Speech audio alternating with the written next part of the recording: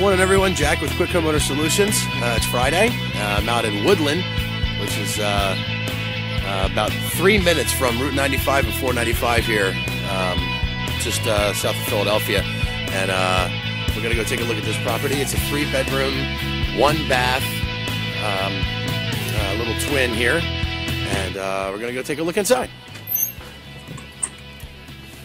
I'm inside to the living room, which is a decent sized living room. Uh, I'm going to guess this is at least 22, 24 by 14, 16, something like that. It's a pretty big size. Uh, there's, uh, as you'll see throughout here, there's there's faux wall coverings, ceiling coverings on everything. This is popcorn paint. Obviously, you can see there's issue with something leaking here. Um, this is underneath of the.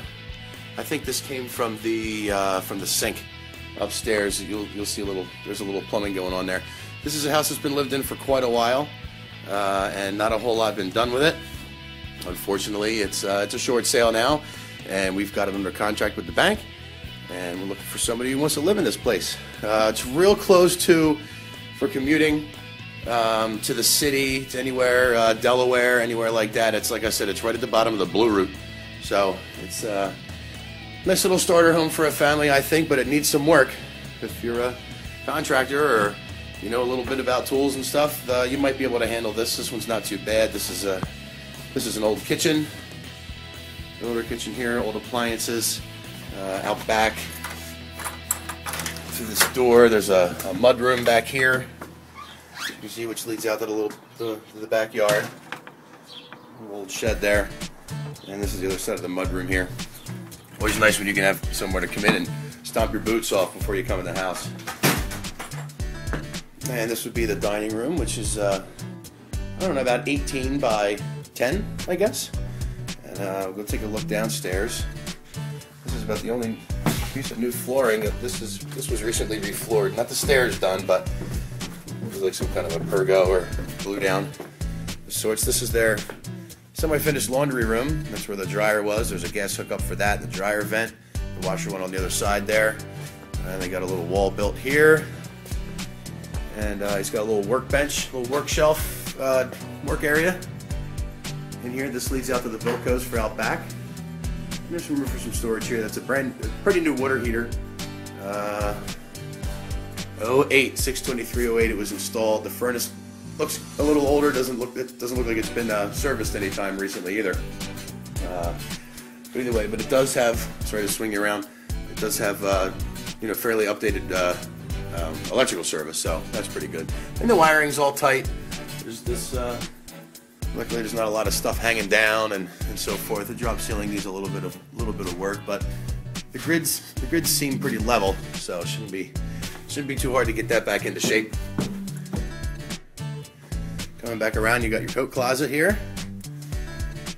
And coming up the stairs to the three bedrooms, one massive bedroom two smaller bedrooms. A little closet at the top of the stairs. And uh, this is the first bedroom. This is more like a, this is perfect for a baby, which I have many of. This is uh, about 10, 10 or 12 by, by about six and a half. And uh, so this this is this is pretty maybe seven feet. This is kind of small. Bedroom number two.